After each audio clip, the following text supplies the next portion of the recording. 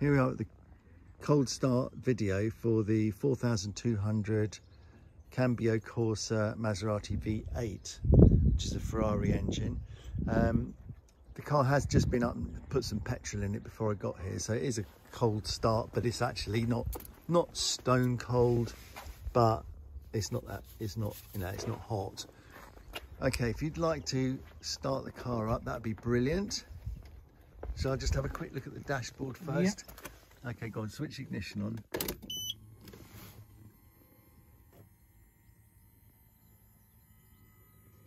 Okay, lovely. Now I'll now start her up. Um, I always wait a second. Okay. I always wait a second because the Maserati owners tell me that it will beep after the after the dry sump has pumped everything through. Oh right, good idea.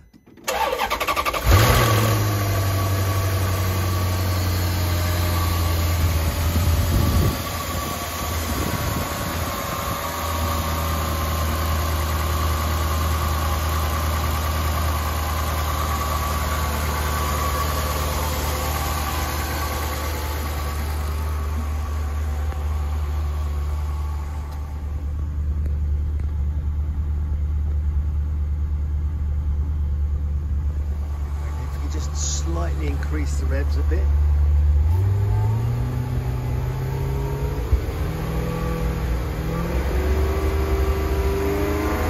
Okay, that's lovely.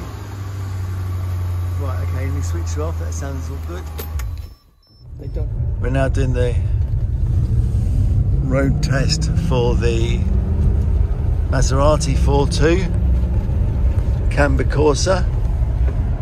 There's the little gear knob, but mostly you'll be changing gear with the paddles, I suppose, or just do you leave it in automatic mostly? No, I usually use it on the paddles. Um, the auto I find is a bit jerkier. Okay, so you can get a nicer gear change off the paddle. Yes.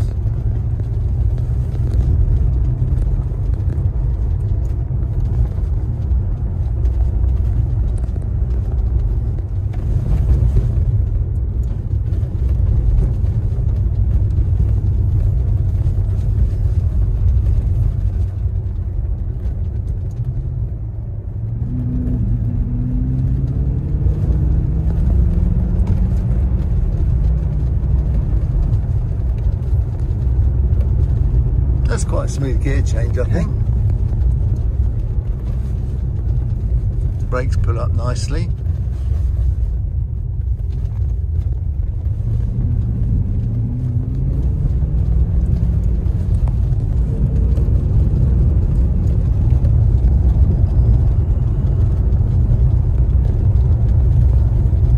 It's a very luxurious interior. Yeah, at the time they said it was uh, full of leather. It is certainly full of leather, isn't it?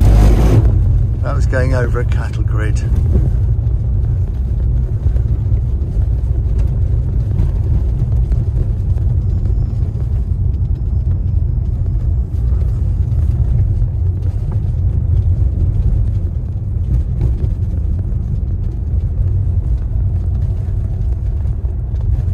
And as far as you're aware, everything in the car works.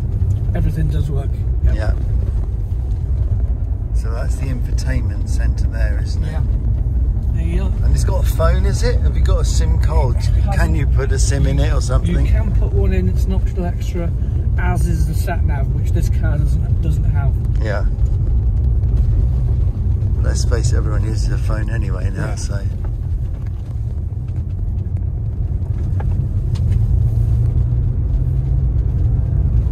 If you read most of the reports on the sat nav, they said even from new, it's fairly outdated. Yeah.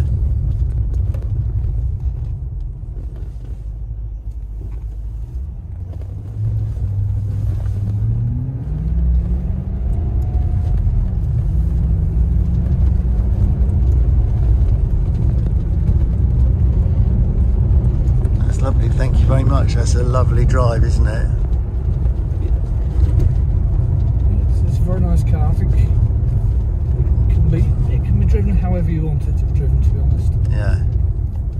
Turn round.